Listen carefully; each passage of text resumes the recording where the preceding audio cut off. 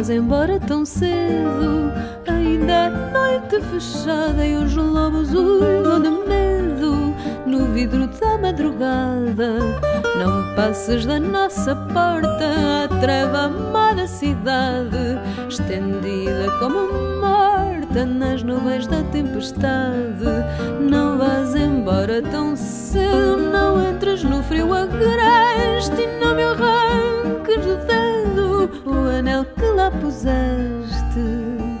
O disco chama-se Idealist ou Idealist porque, porque tem a ver, digamos que é, uma, é, é a minha lista ideal, é, é a, a súmula de 13 momentos da, da, minha, da minha história, da minha discografia, onde, onde constam os temas que eu acho mais relevantes, seja para mim, para a minha história íntima, seja para o público, os temas que foram mais importantes e foram mais marcantes para o público. Entras no frio agreste não me arranques do dedo o anel que lá puseste. Sabes, eu, eu, eu, acredito que ao fazer uma, uma escolha ideal, uma lista ideal, um, o que acontece é o mesmo que, que acontece quando tu arrumas o teu escritório, quando arrumas a tua casa. É arrumar a casa. É, no fundo, escolher o trigo do joio. É dizer o que é que foi realmente relevante um, claro que ficaram meia dúzia de músicas que eu, que eu gostaria de ter posto por uma outra razão, mas depois, ao não conseguires agrupá-las, uh, acabaram por ficar de fora. Portanto, não, não me deixa nenhuma espécie de mágoa ter deixado alguns temas de fora. Apesar de poder confessar-te que, que, que sim, que havia coisas que eu gostava de ter colocado nesta, nesta pequena caixa especial. E a nossa ficou assim.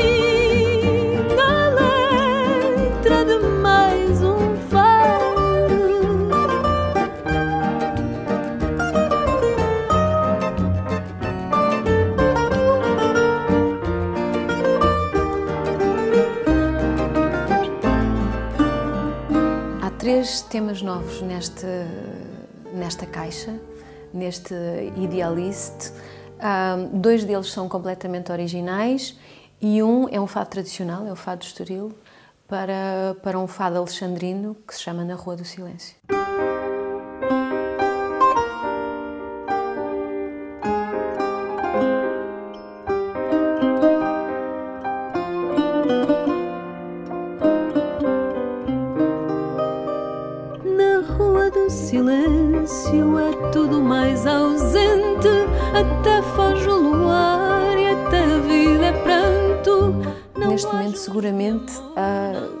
Quero que o fado e, e, e, a poesia do fado faça parte uh, nesta, nesta altura da minha vida. Portanto, são dois poemas do Mário Cláudio. Um, para, para músicas do Ricardo Dias. Uh, devo dizer que esta Na Rua do Silêncio tem uma conotação um pouquinho mais apertada e mais sentimental para mim, uh, apesar de ter sido uma sugestão nesta altura de cantar o Fado Estoril neste poema, uma sugestão do Carlos do Carmo, porque quando tenho algumas dúvidas gosto, gosto de colocar estas questões. E eu achei que fazia todo o sentido porque por um motivo muito especial, que é o facto de, deste tema ser um dos temas preferidos do meu avô, aquele avô que é sempre uma referência uh, na, minha, na minha história. Uh, era um dos, um dos fados que meu avô pedia sempre que eu cantasse. No silêncio há lágrimas cansadas na rua do silêncio é sempre noite escura. Percebemos que era importante gravar, de facto, uh, alguns temas novos. Porquê?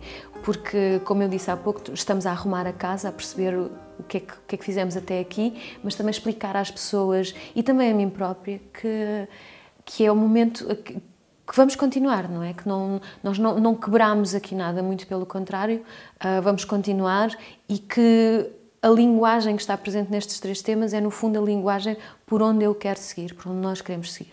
Eu, eu quero que o meu caminho esteja agora mais próximo do fado, seja porque cresci emocionalmente e que eu acho que é preciso uma certa dose, há uma intensidade que está agregada ao fado que tu não podes de maneira nenhuma ter quando, quando és mais jovem.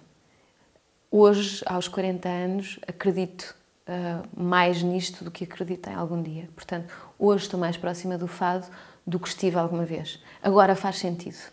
uh, sempre com uma linguagem muito, muito própria.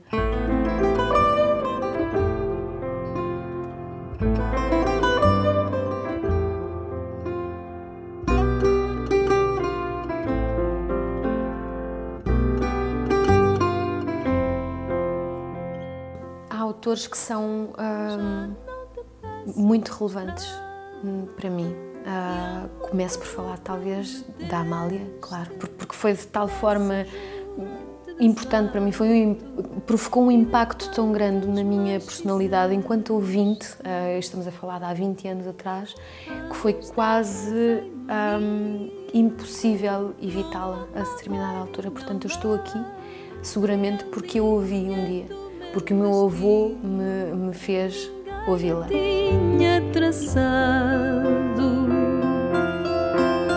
o colete que te dei, ainda mais que de cetim,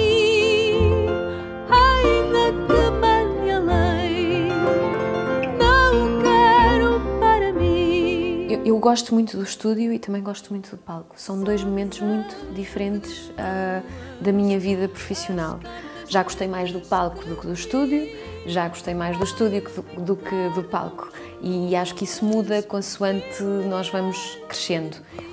O, o, estúdio é o momento onde nascem as coisas, onde elas ganham, uh, ganham forma, onde tu consegues estar sozinho contigo e com os autores e perceber o que é que eles quiseram dizer com aquelas palavras, conseguir sacar uma, uma essência de, de toda aquela amálgama de música, uh, e, de, e, de, letras e de palavras.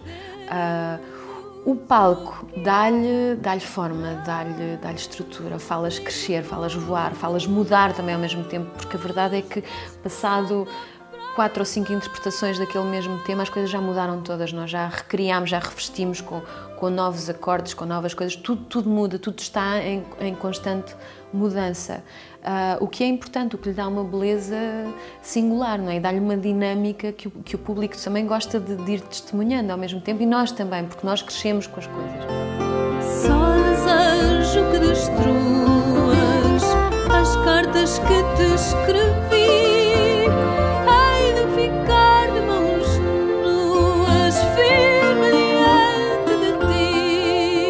Primeiro concerto que eu fiz foi em Amsterdão numa pequena sala que se chama Zalondrand uh, e foi onde eu enfrentei um, um público uh, sério, digamos assim, porque até aí era, era um público mais familiar, eram pessoas que eu conhecia, portanto, mais, mais amistoso. Uh, um microfone e dois monitores. estava morta de medo. Além disso, tinha um repertório novo, portanto eu estava ali a juntar uma série de, de músicas que eu nunca tinha cantado, uma série de, de textos que nunca tinha uh, cantado e fazia daquele momento uma coisa importantíssima, apesar de eu ter ido uh, para Amsterdão com a sensação que ia de férias. É? Tinha a responsabilidade de cantar, mas eu estava a descobrir um país novo, uh, uma viagem nova e, e, e tinha mais esse esse caráter do que propriamente a cantora. Não é? E não foi uma cantora que foi para Amsterdão, foi, foi uma miúda de 22 anos.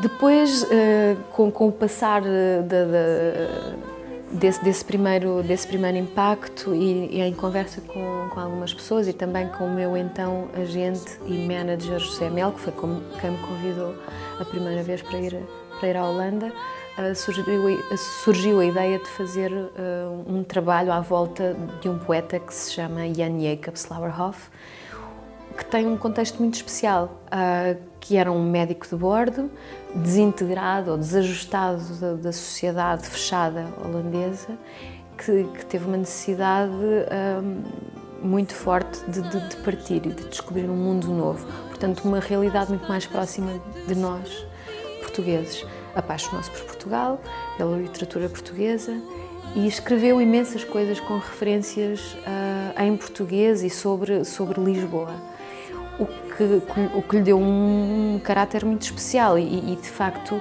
transformou-se num autor goloso para ser cantado na nossa, na nossa língua. Portanto, isto foi ganhando forma, esta ideia, e acabámos por fazer um disco dedicado inteiramente à poesia de, do Slauerhoff.